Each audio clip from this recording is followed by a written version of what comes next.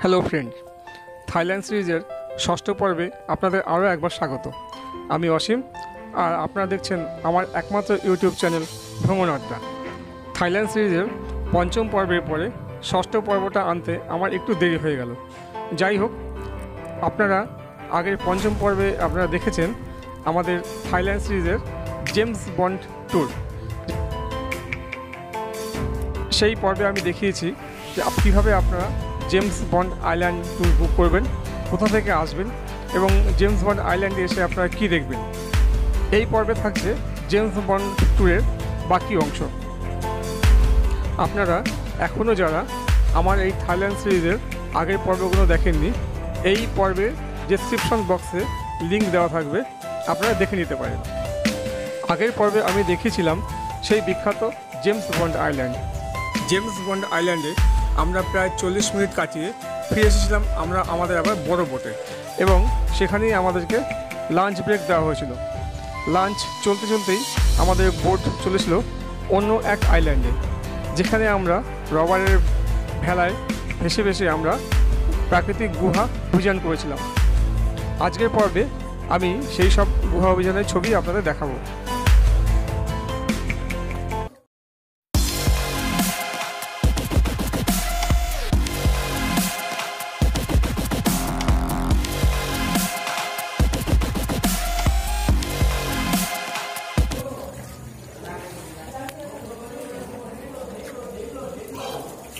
বন্ধুরা, আমরা চলে এসেছি পাং নাং বিয়ের অন্তর্গত এই হং আইল্যান্ডে। এই হং আইল্যান্ডেই এই এখানে একটা প্রাকৃতিক গুহা। এই প্রাকৃতিক গুহাতেই আমরা এবার রবারের ভেলায় ভেসে আমরা ভেতরে প্রবেশ করে দেখব, ভেতরে আমাদের জন্য কি বিষয় অপেক্ষা করে আছে। আপনারা আমাদের সঙ্গে দেখতে থাকুন।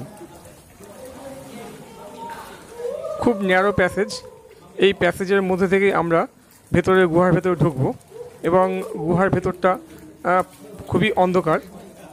যদিও আমাদের বোট চালক এদের মাথায় সার্চ লাইট লাগানো আছে। খুব অন্ধকার হলে পরে তারা সার্চ লাইট জ্বালিয়ে ভেতরটা দেখতে সাহায্য করে।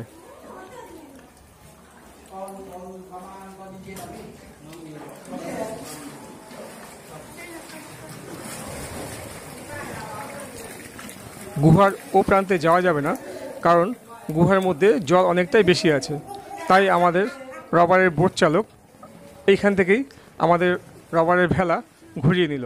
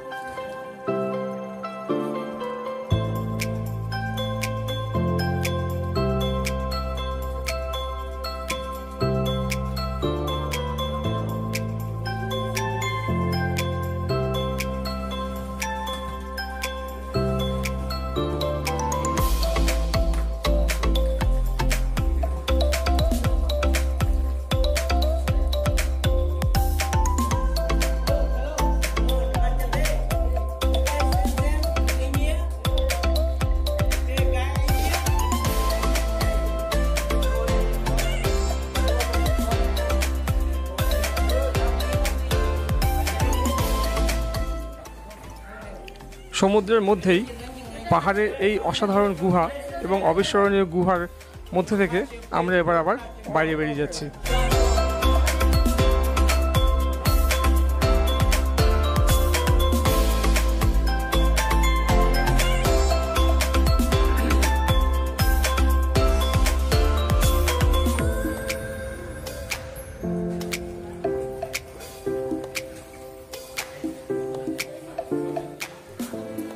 এই আইল্যান্ডটির নাম হং আইল্যান্ড জেমস বন্ড আইল্যান্ডের মতন এখানেও একটি এরকম পাথর সোজা হয়ে দাঁড়িয়ে আছে। জলের রং দেখুন একদম পান্না সবুজ। কি অসাধারণ দৃশ্য। পান্না সবুজ জলের মধ্যে চারিদিকে পাহাড়ে ঘেরা এবং প্রত্যেকটা পাহাড়ই গাছপালায় ভর্তি। এবং এই পাহাড়গুলোর মধ্যেও বিভিন্ন জায়গায় বিভিন্ন রঙের পাথর।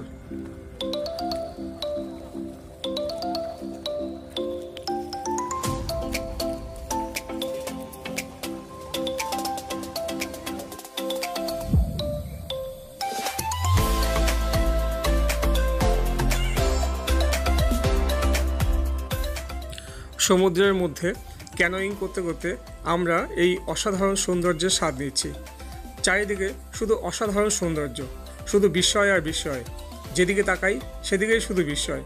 হাজার হাজার বছর ধরে এই প্রাকৃতিক গুহাগুলো তৈরি হয়েছে। দেখুন, পাথর কত রকম আকৃতি নিয়েছে, ক্ষয়ে ক্ষয়ে।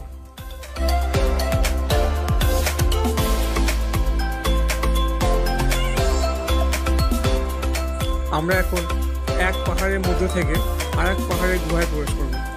দেখুন পাহাড়ের গায়ে কি অসাধারণ সবুজ রং।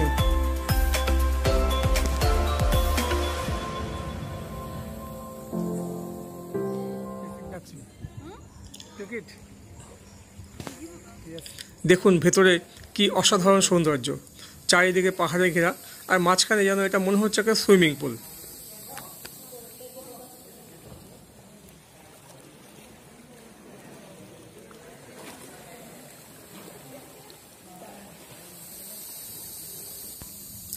দিনের বেলাতেও ঝিঝি পোকার ডাক। একটা বেশ গা ছমছমে পরিবেশ।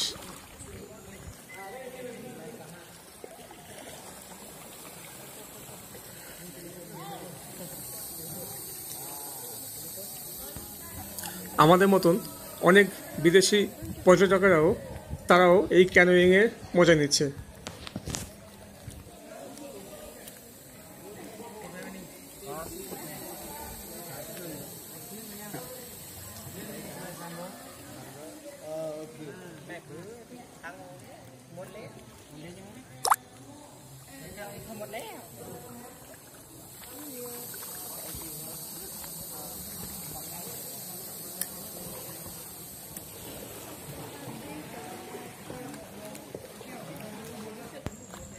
সত্যি এত অসাধারণ সৌন্দর্য আপনারা ক্যামেরার লেন্সে চোখ রাখতেই ভুলে যাবেন।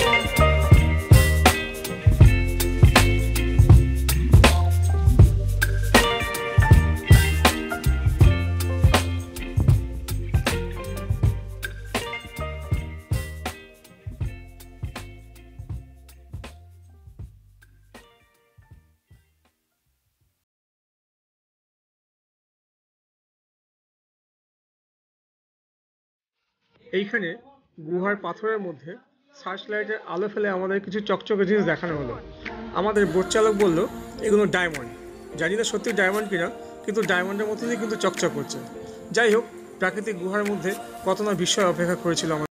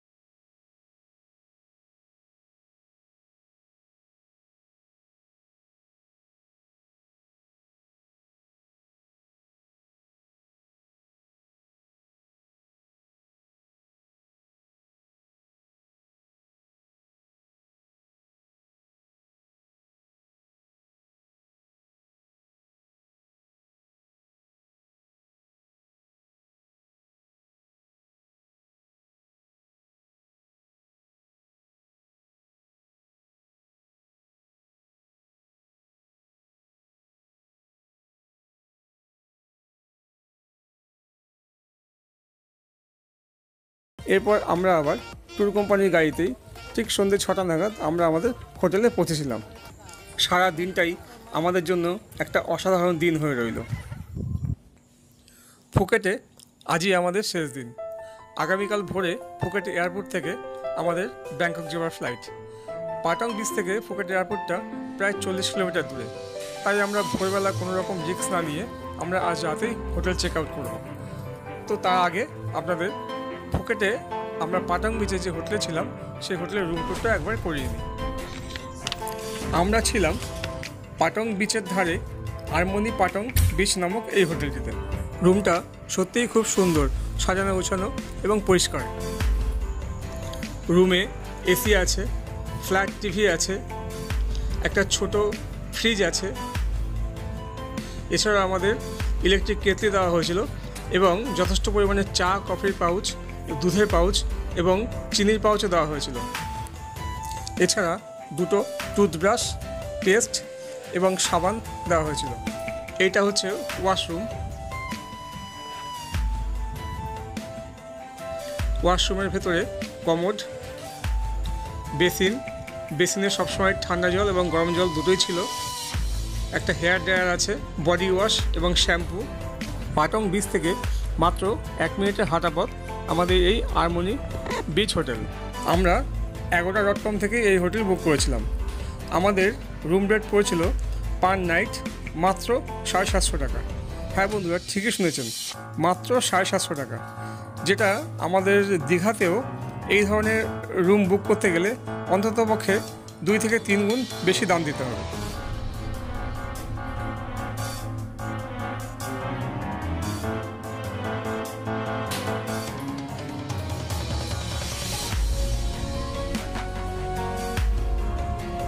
এটা একটা ওয়ার্ড্রোপ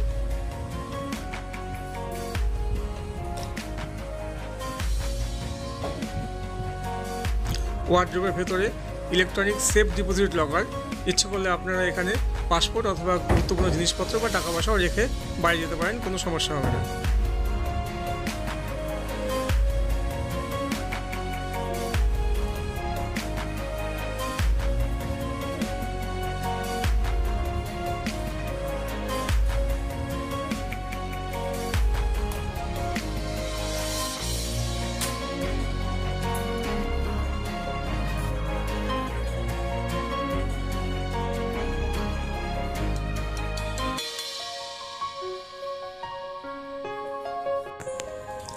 আমরা রাতেই হোটেল থেকে চেক আউট করে ফুকেট এয়ারপোর্টে চলে এসেছি।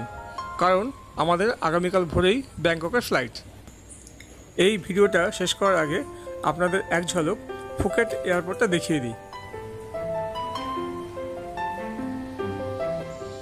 যদি আপনাদের এই ভিডিওটা ভালো লেগে থাকে, তাহলে লাইক শেয়ার এবং আমার এই ভ্রমণ আড্ডা চ্যানেলটিকে সাবস্ক্রাইব করতে ভুলবেন না। আমি পরের ভিডিওতে নিয়ে আসছি। ফুকেটের সেই বিখ্যাত বাংলা রোড এবং পাটায়ার ওয়াকিং স্ট্রিট। ততক্ষণ পর্যন্ত ভালো থাকুন এবং সুস্থ থাকুন। Thank you.